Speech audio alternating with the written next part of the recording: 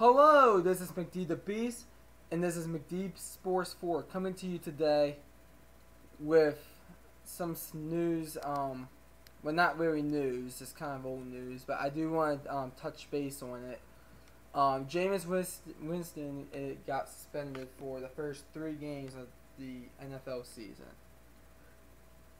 The um, Buccaneers will be without Jameis Winston for the first three games as he serves a suspension for conduct policy um, for not so much domestic violence, but he is alleged of groping a woman, a, a Uber driver, in Arizona. Um, it and the exact details of it is that he touched the girl's uh, vagina.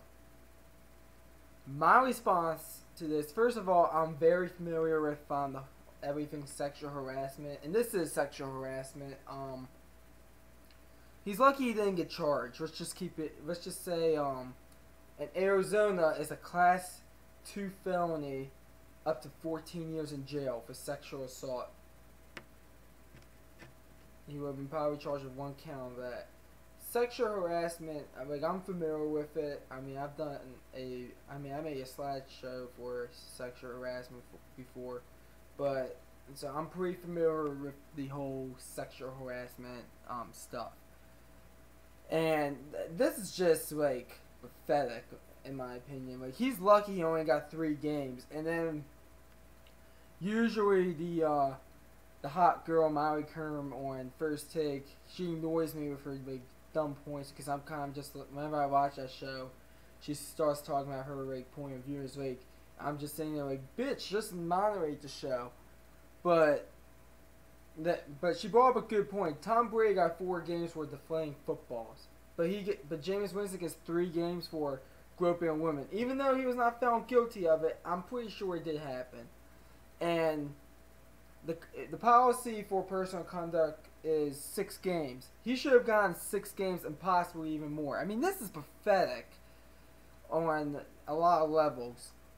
Now, looking at the Buccaneers' first three games, um, they were even with Jameis Winston. I think they would have lost all three. Um, they had the Eagles, Saints, and Steelers.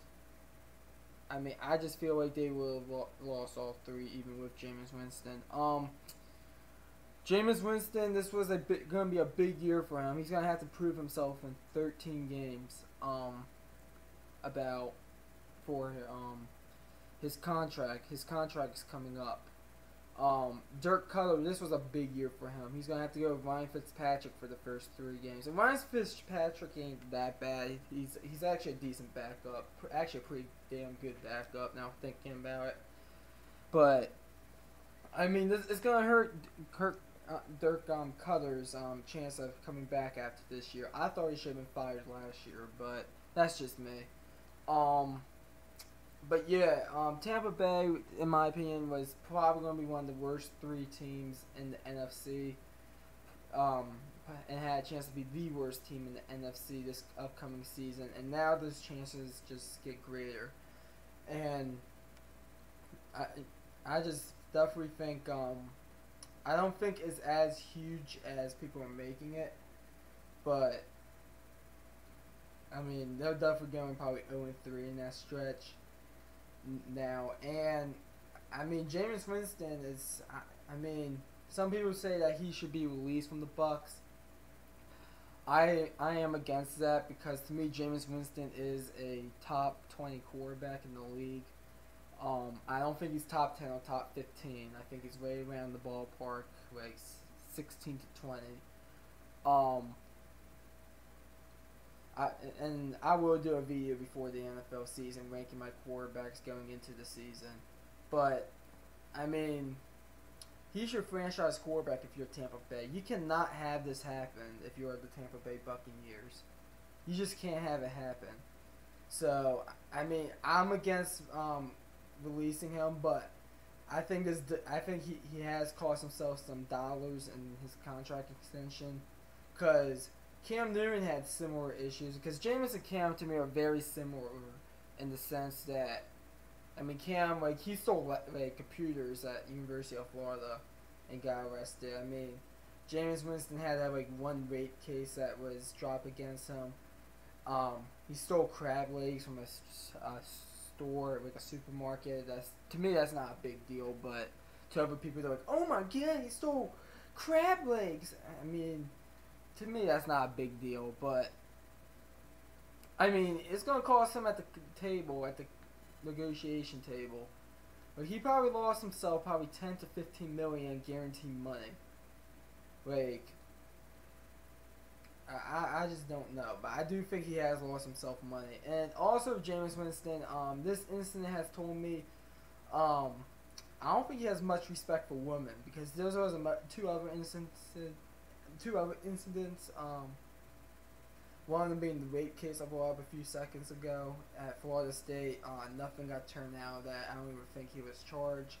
And then the other one, he was talking to a group of elementary schoolers, and he said he asked the guys to stand up and be like, "Oh, the guys are the strong guys, but the women say stay silent." So I really don't think uh, Jameis Winston has a lot of respect for women, but that's just me. Even though he has a fiance, and he just welcomed a baby, like like a, today actually, like when I was looking up this picture for the thumbnail, I mean, that's what I saw. So I was like, damn.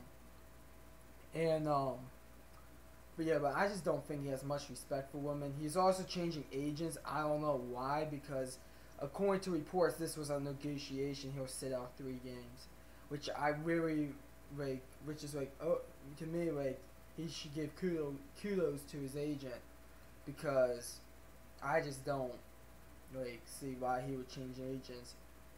But I do think he costs money. I think what this means is that he costs money at himself um, at the at the um, negotiation table, and I mean, people are gonna people are saying, oh, they should release him. I don't think they should release him, but if he plays like absolute dog shit this year, uh, he will be on the hot seat next year, in my opinion, with his um history now. So that's my view about the whole Jameis Winston thing. And to me, it's kind of a big deal, but at the same time, not really that big of a deal.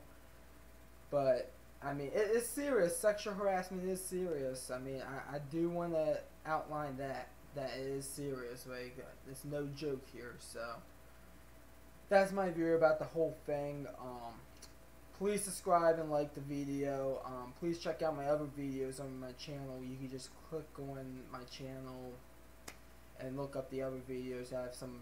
I have um, Alabama, Clemson, Georgia, and Ohio State football prediction videos. I have some NBA free agency videos up. So please go look at that. Um, and this is and thanks for watching again. Um, and this is McD the Beast signing off.